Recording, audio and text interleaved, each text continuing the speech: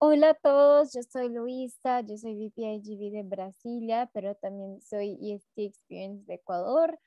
Y bueno, estamos aquí para hablar un poco sobre el manejo de realizaciones en OGV.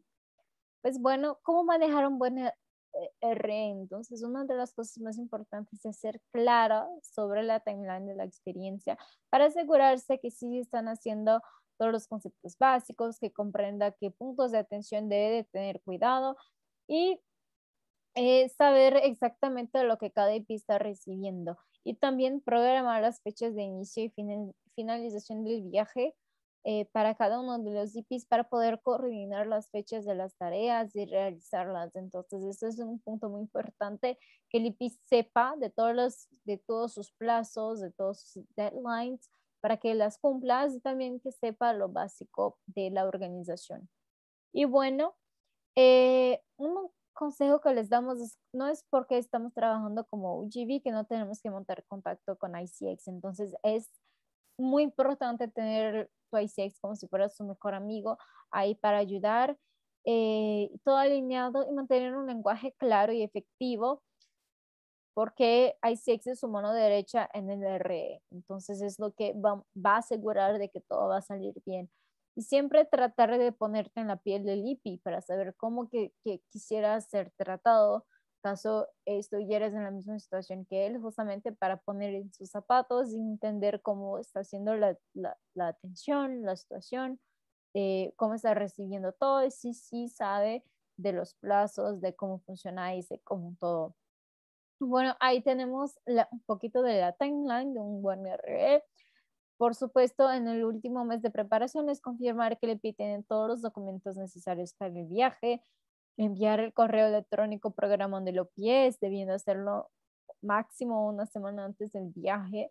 Y bueno, eh, ahí en las, en las quincenas y en las semanas es justamente estar ahí siempre al tanto del IP y bueno, mandando los follow-ups y en la, en la última semana, por supuesto, programar la reunión del debrief para la finalización del intercambio en la primera semana después del regreso del IP para que no perdamos del de vista, porque a veces se regresan a su país y pues se olvidan de todo.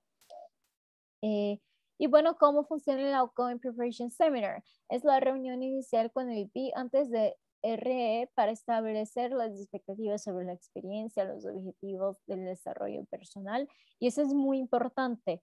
Entonces, dentro de, de Outgoing Preparation Seminar, tenemos esta agenda que es expectation setting, personal goal setting, comportamiento esperado con el anfitrión y en la startup, en la ORG, con el host y los follow-ups, cómo se van a dar, entonces un poco también de cultura del país que él se va y todo, para tener las cosas muy bien alineadas. Si quieren un consejo, sería muy bueno llamar a un ICX para poder aclarar todo.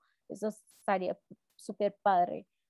Y bueno, el follow-up semanal, entonces, ¿cómo es el seguimiento, no? Semanal en línea para poder comprender cómo está haciendo la experiencia del IPI. Entonces, no solamente por WhatsApp, sino también como correo para tener todas esas informaciones en un ambiente formal.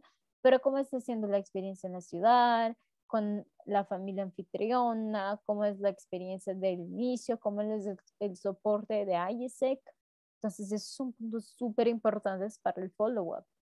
Y bueno, sobre la Colos Experience es el debriefing sobre la, sobre la experiencia para entender cómo se desarrolló el IP, cómo que sintió el apoyo de ISEC. Es hora de completar pues la encuesta de standards junto al IP para recopilar los comentarios. Entonces la agenda es cómo estuvo la, la experiencia en línea, en línea de lo que estableciste en el IPS, cuáles fueron los desarrollos personales que sintió, cuáles son las principales lecciones que aprendió de la experiencia, qué se desarrolló en la ONG y cómo pudo haber sido mejor. Entonces son preguntas de que deben de estar, especialmente cómo fue el proyecto en la ONG, cómo el, el siente después de hacer un voluntariado en otro país y conocer otra realidad, cómo esto le ha impactado a él o a ella y cómo pues, su vida cambia después de eso. Y la principal cosa del manejo de RS es gestión de información. Entonces, siempre mantenga la gestión de información de datos lo más actualizado posible y visible porque su equipo va a poder ver, saber exactamente cómo está, la situación del EP y cuáles son los próximos pasos con aquel EP, cómo él se siente, cómo están yendo todo. Entonces, eh, para que puedan realmente actuar lo más rápido posible y corregir los problemas sin, sin, sin tanto retraso para el EP y brindarle el mejor soporte y siempre actualicen podio. Entonces, si no está en el podio, no sucedió Así que mantener eso para las próximas gestiones de ISEC es imprescindible. Y bueno, es muy importante que el EP vaya enterado de que ISEC es un intercambio de desarrollo.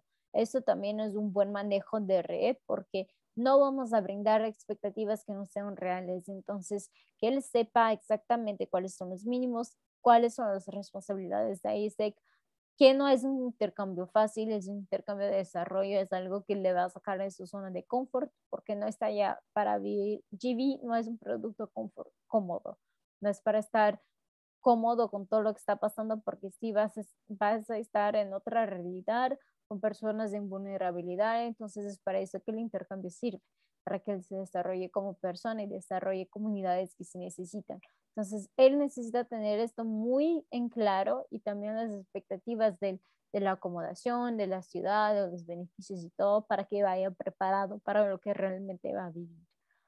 Entonces, muchas gracias. Si tienen dudas, pues contáctenos. Estamos aquí para ayudarles. Somos el, el Team EST. Estaremos aquí siempre para lo que necesiten. Bye bye.